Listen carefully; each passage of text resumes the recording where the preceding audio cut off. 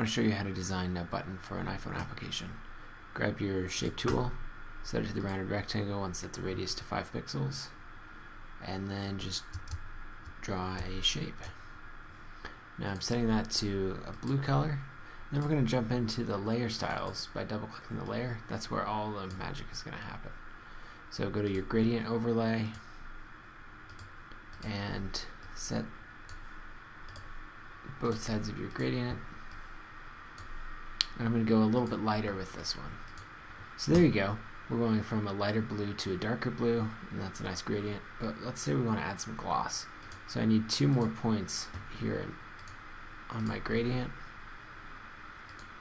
And let's brighten that one up and darken this one. So to create that gloss, we want a nice line to show up. And that's starting to get there. We need to brighten our top color a little bit so we get more of a curve to the button.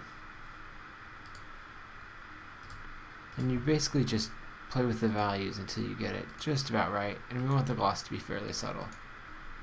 So that's good. Now put that at 50% uh, position and push the other one together to get a nice crisp line and hit OK. As you can see, that's there with some gloss on our button. Next, add a stroke. And this can just be one of your darker colors. And we're going to do just one pixel, but it's set to the outside.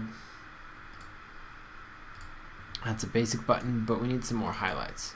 So we're going to come back in and add a drop shadow that's white coming two pixels down from the top and a zero pixel size and that adds that little highlight there. I'm going to tone that down a little bit. And then an inner shadow which we're going to set to overlay and white as well and this will be one pixel and a zero pixel size and just play around with that opacity until it gets just about right. Now switch to a text tool, click in the center, and then we'll add a label, in this case submit. Got it set to Helvetica Neue bold, and we want it white. Oops, there we go, white. And add a double click to add a new layer style of a drop shadow. We're going to turn off global light, go minus 90 degrees, because we want to give it a recessed look. And once again, one pixel distance and zero pixel size. And just tone down that opacity a little bit. And then we can nudge it around to center it in our document. And there you go. There's a good button.